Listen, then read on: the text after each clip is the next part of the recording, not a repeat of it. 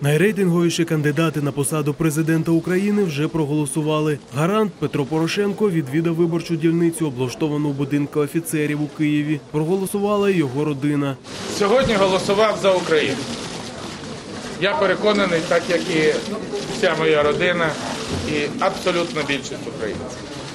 Сьогодні впевнений в тому, що вибори були добре організовані, волевиявлення громадян буде збережено.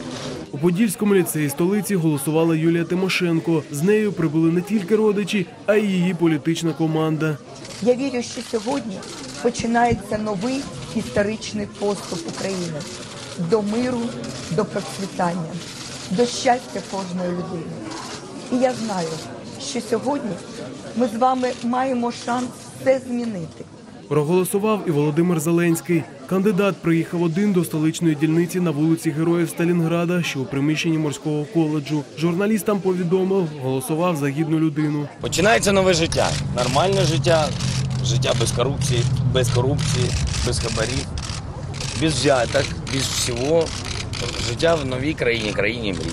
Очень много кандидатов. Вот это количество, это количество кандидатов говорит о том, что в нашей стране демократия в самом рассвете, и это здорово. На дільницю у Голосіївському районі столиці прийшов і кандидат на посаду президента Анатолій Гриценко. Сам політик проголосував без перешкод. А от його дружину Юлію довго шукали у списках виборців. Утім, жінці таки вдалося здійснити волевиявлення. Я проголосував за Україну без мародерів, за Україну в безпеці і добробуті.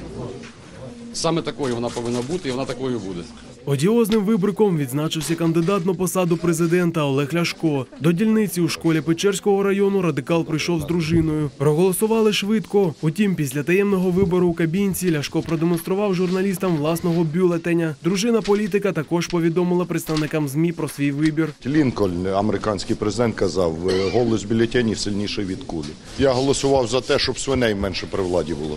Сьогодні в нас унікальний шанс вичиститися, щоб сильна країна була, сильна економіка, мир вернути, людей із заробітків вернути. Нагадаємо, за порушення законів про вибори, зокрема відкриття таємниці голосування, передбачена кримінальна відповідальність до трьох років за ґратами.